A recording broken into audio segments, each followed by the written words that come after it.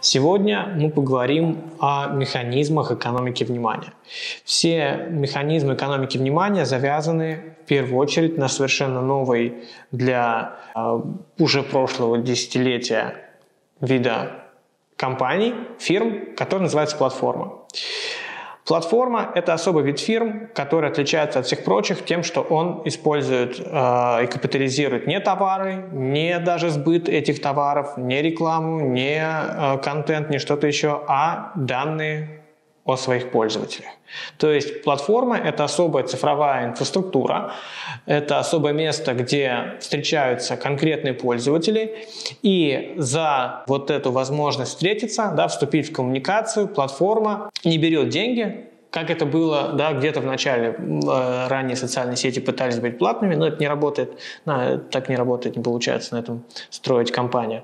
Да, они просто обрабатывают всю информацию, которую они имеют о своих пользователях. То есть каждое цифровое взаимодействие, оно очевидно записывается, о нем э, заносятся определенные данные, и, собственно, вот этот вот массив данных можно обрабатывать, можно использовать как конкурентное преимущество, можно продавать рекламодателям и так далее и тому подобное. Соответственно, платформа – это особый вид фирм, который зарабатывает не на производстве, производстве, не на сбыте товаров и не на рекламе, а на том, что он накапливает и обрабатывает данные. Э, этот вид фирм имеет ряд особенностей. Да? Самая главная особенность – это работа с данными, да, система хранения и обработки этих данных, и, собственно, главный капитал да, – это вот эти данные о пользователях, которые они никогда никому не отдадут и не продадут, хотя алгоритмы, да, в некоторых случаях возможны переходы. Э, второй очень важный момент, что доступ к платформе обычно, чаще всего, за редким исключением, бесплатный.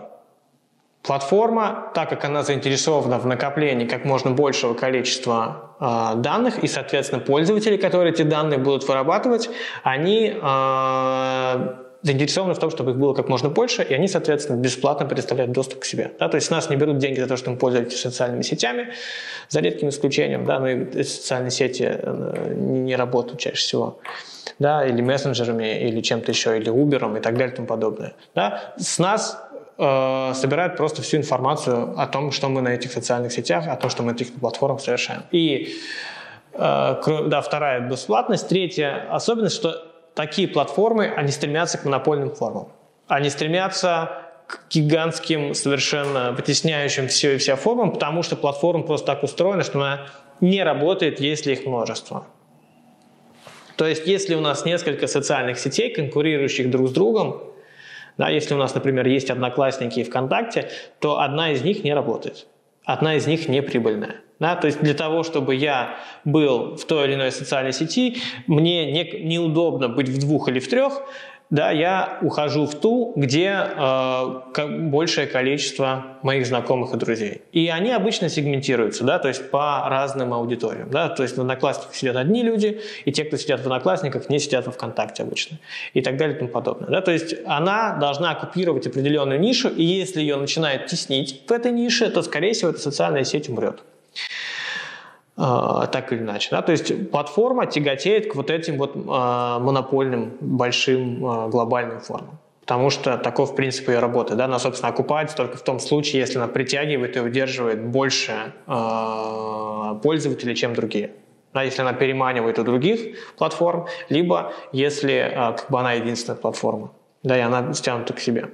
И в пределе как бы, да, должна появиться вот эта вот одна большая платформа. И самое интересное, что, да, собственно, вот этот вот рынок платформ, он давным-давно поделен, как лет 10 назад, да, вот это вот есть выражение э, большой четверки, Amazon, Google, Facebook и Apple, которые, собственно, да, э, поделила вот этот вот самый рынок, так называемый ГАФа, да, и э, нового ничего не происходит, Facebook выкупает все, что происходит нового, Instagram, WhatsApp, все принадлежит, соответственно, Facebook. Google выкупает все, что может с ним конкурировать. Да, Яндекс пытается с ним конкурировать сегодня, но у него не так, чтобы есть какие-то большие перспективы в этом направлении, да, несмотря на то, что есть какие-то там локальные победы на локальных рынках, но тем не менее. Да, то есть, короче говоря, платформа должна быть монополией, иначе она просто не выживет, она так устроена. Если от нее начинает уходить пользователь, она начинает разоряться. Она перестает быть актуальной, рекламодатели перестают покупать у нее э, аудиторию рекламы.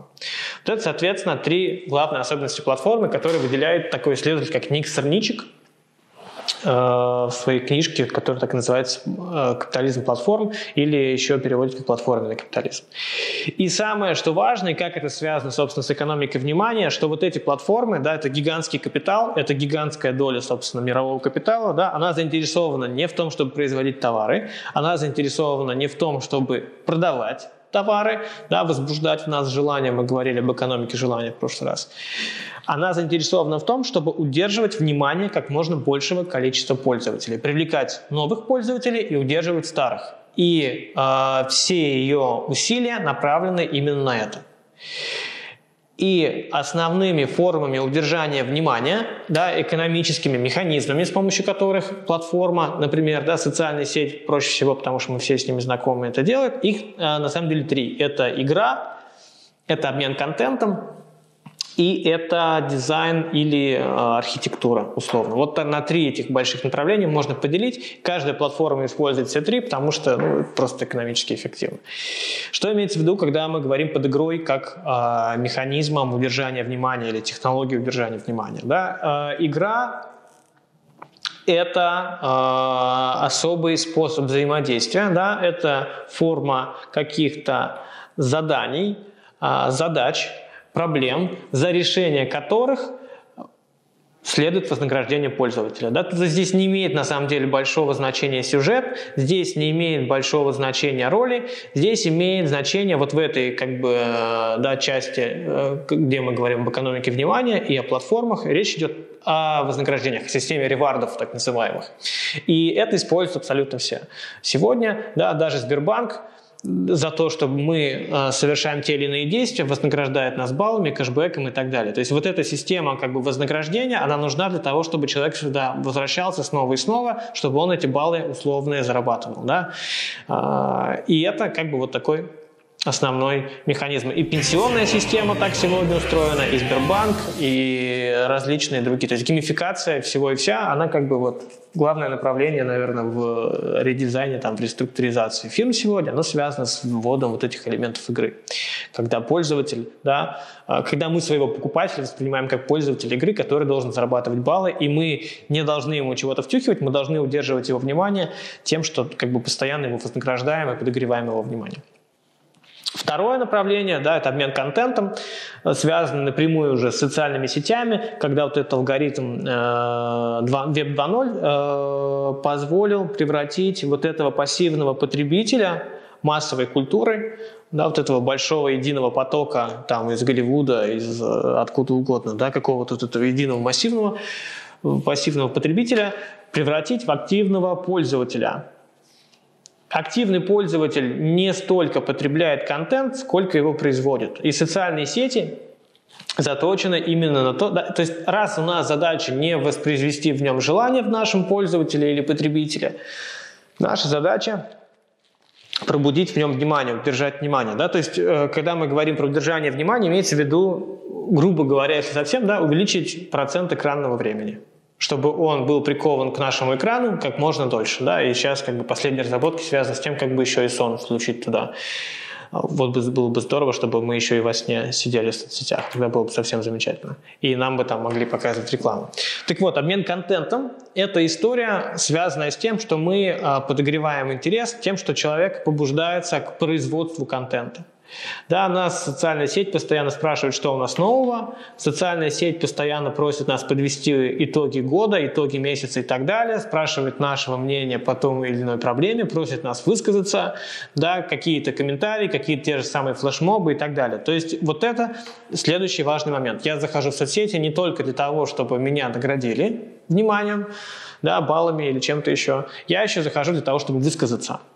И вот это как бы пространство активности, да, э, производство контента, да, оно нас удерживает тоже в социальных сетях.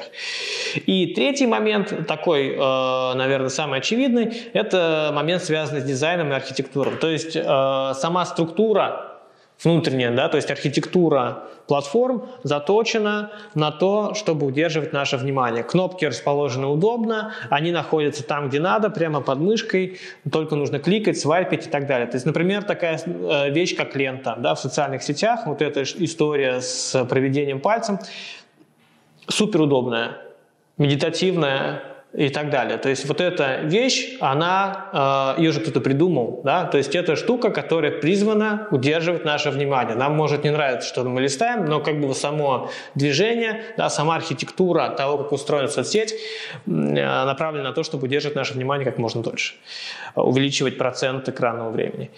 И дизайн, речь идет, соответственно, о вот таком привлекательном дизайне, когда там все эти истории про цвет денег, про то, что есть кнопки, которые кликают, цвет, который кликает, и цвет, который не кликает, и так далее и тому подобное. То есть, если грубо совсем, да, когда-то э, все говорили там дурацкие такие совершенно вещи про продающий красный там, или про революционный красный, то сегодня, конечно, красный – это э, тот красный, который заставляет кликать. Да, не столько покупать, не столько хотеть, не столько там желать, хотеть, там болеть в светлое будущее или там шубу или чего-то еще, квартиру, машину и прочее, а просто кликнуть.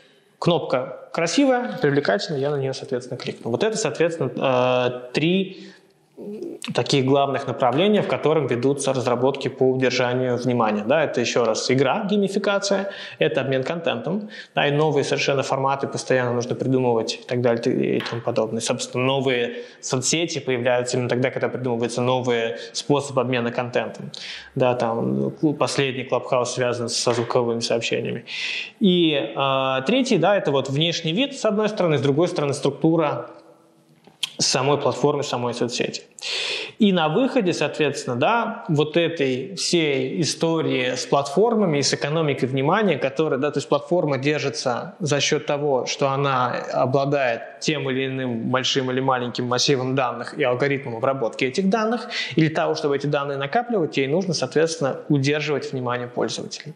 Именно поэтому да, появляется фигура активного пользователя, который вытесняет пассивного потребителя – то есть массовая культура, мы с вами об этом говорили чуть-чуть раньше, да, в предыдущем видео, создает вот этот образ э, телезрителя, да, пассивного э, потребителя контента, даже не контента, да, условно, а массовой культуры, зритель массовой культуры, да, то современные платформы создают активных пользователей. И они, соответственно, э, осознают себя совершенно иначе. Если условно да, в предыдущей истории с пассивным потребителем, э, критерием успеха да, и двигателем, собственно, человечества является э, потребление, да, когда я отличаюсь тем, что я потребляю. Я отличаюсь тем, что я потребляю.